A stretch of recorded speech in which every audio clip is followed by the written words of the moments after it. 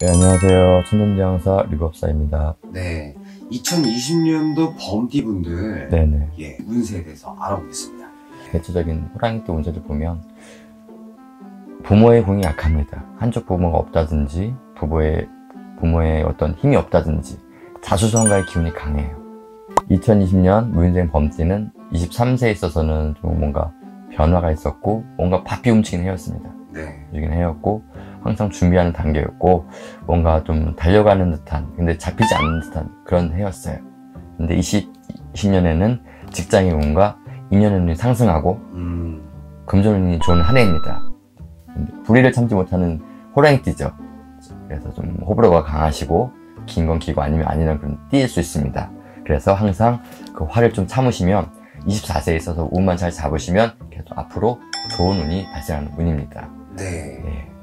35세 병인생이죠. 네, 어, 어떤 삼재의 기운을 먹고 35세로 들어서는 병인생인데 아, 참 변화무쌍한 병인생입니다. 네, 어떤 신의 기운도 강하시고 아마 종사하시는 분들이 여러 가지 많을 수 있습니다. 어떤 저희 업계에 종사님 계실 거고 어떤 사업적으로 직장 쪽으로 이렇게 계신 분들이 있는데 이 해는 좀 한 가지 한 가지 좀 풀리고 뭔가 좀 답답했던 것들이 어떤 열리는 해입니다. 음, 한마디로 금전운이 상승하고 마음이 좀 잡히는 해이고 뭔가 보이는 해입니다.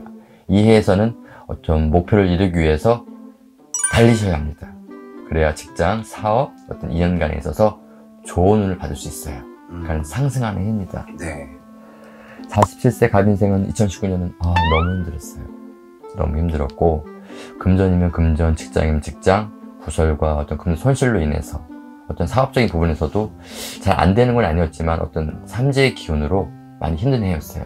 근데 2020년에는 어떤 사업은 상승과 귀인이 따르고요.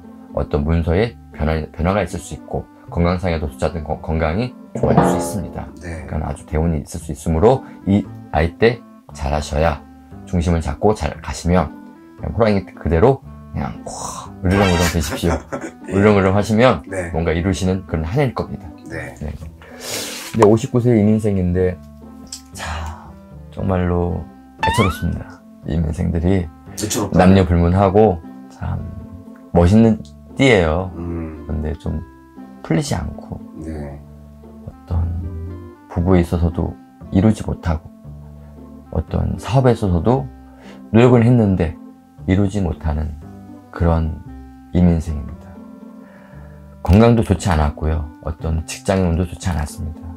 하지만 2020년 또한 각별한 주의가 필요해요. 또 아홉수가 들었고 그렇다고 해서 뭐 의기소침하지 마십시오. 이해해서 건강 금전 가정 불화 조심하셔야 합니다. 음, 네, 어떤 고비가 또 따를 수 있어요. 이해만 잘 넘기시면 자기가 내 살아온 대로 그냥 원하는 걸 이룰 수 있습니다. 네, 네. 내년에 좀 딱 이, 이 나이를 꼽자면 네네. 어, 이불이 그래도 좀 그래도 풀리겠다 하는 띠. 호랑이 띠 중에서 네, 좀 제일 그래도 베스트다. 베스트 네. 47 가정생 호랑이 띠입니다. 어, 예, 무엇인가 보이고 풀리고 어 이렇게 내가 인생에 있어서 이런 날도 있나? 좋은데? 예, 네. 예, 예, 예. 괜찮습니다. 어, 좋은 운기가 들어올 때, 네네. 어, 좀 그런 운기를 좀 확인할 수 있는 방법 있나요? 몸으로 느끼죠. 꿈으로 선몽하고 네. 하는 눈으로 보이는 게 달라집니다. 아, 그래요? 예, 예. 느낌 자체도 다르고요. 그럼 어떤- 본인이 알아요? 그렇죠. 왜냐하면 너무나 힘들었기 때문에 그 기운을 느낄 수 있어요. 어떤 음. 도, 나를 도와, 도와주는구나. 아, 아, 나는 힘내야겠다. 그런 마음이 절로 드는 그런 해입니다. 네, 어, 범띠 운세에 대해서 알아봤습니다. 네. 어, 범띠 분들 조금 더 정확한 정보를 원하신다면 음. 여기 천존대왕서로 전화 주셨으면 감사하겠습니다. 네, 감사합니다.